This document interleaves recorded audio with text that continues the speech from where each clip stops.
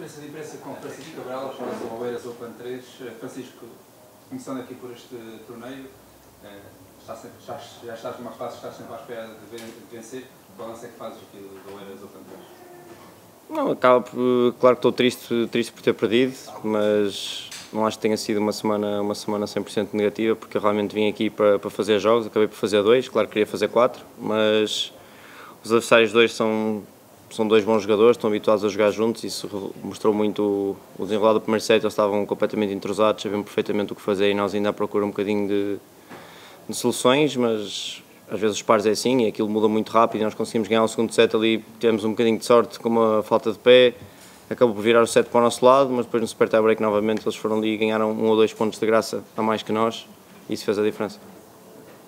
Bons amigos, como é que foi a experiência de jogar com, com o João, tanto tempo depois já, já tinham jogado, acho que noutros escalões, não é? Não, não, nós, nós nunca, eu, já, eu e o João somos amigos há muitos anos, muito bons amigos, mas nunca tínhamos jogado, jogado para juntos, na altura quando ele jogava mais futures, ele jogava com o Nuno Deus e eu jogava até com o Filipe Cunha e Silva.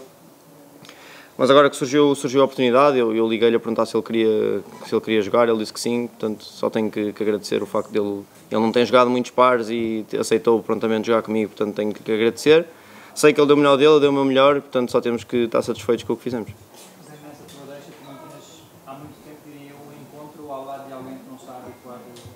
Habituado, a jogar pares, mudou na, dinâmica, nas conversas, ainda mais iniciativa naquilo que não combinando, é como é que foi encontros?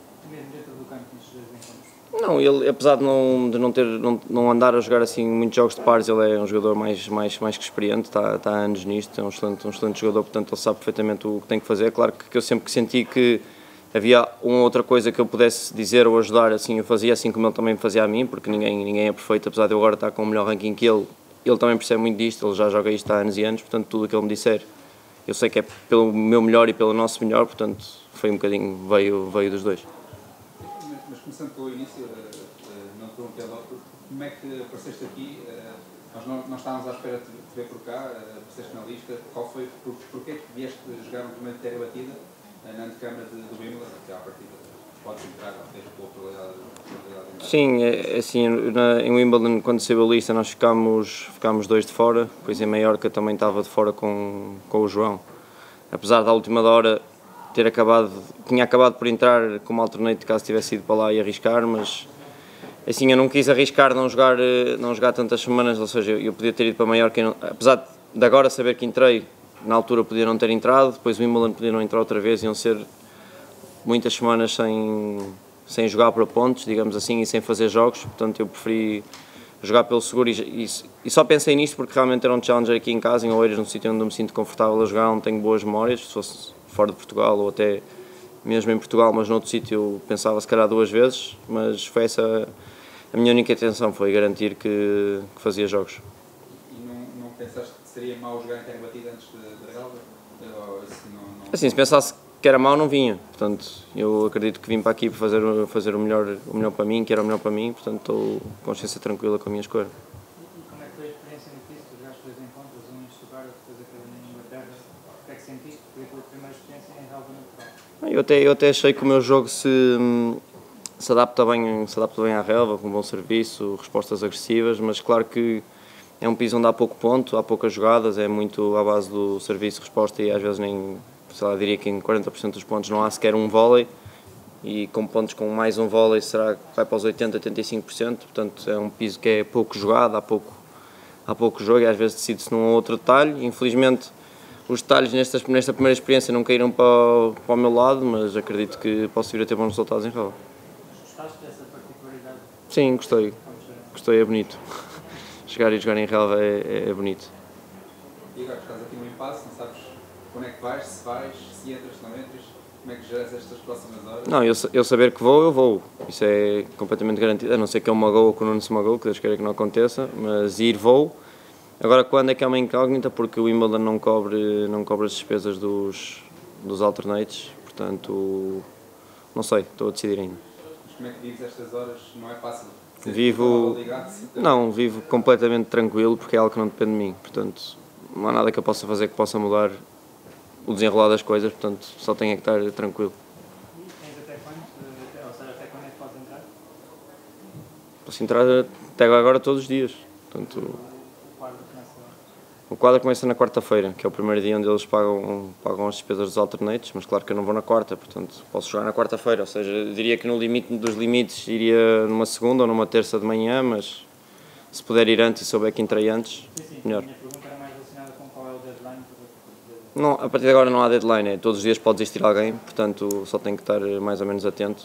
Quer dizer, eu nem tenho que estar atento porque avisam-me, se alguém desistir eu recebo e-mail ou mensagem da, da ATP, portanto aí já sei, já sei que entro.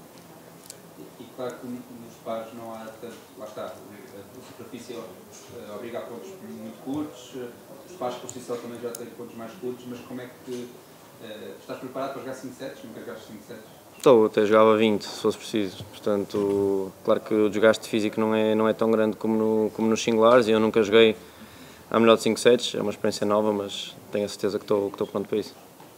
A roupa branca está, está bem. Está toda, toda em dia, felizmente a Babalap dispensou uma roupa branca com bastante, bastante antecedência e rapidez, portanto tenho tudo em dia. É mais importante para ti ainda agora, depois do que aconteceu em Roland Garros, entrar mesmo em Wimbledon e eh, arriscar da lista, participar em Slam?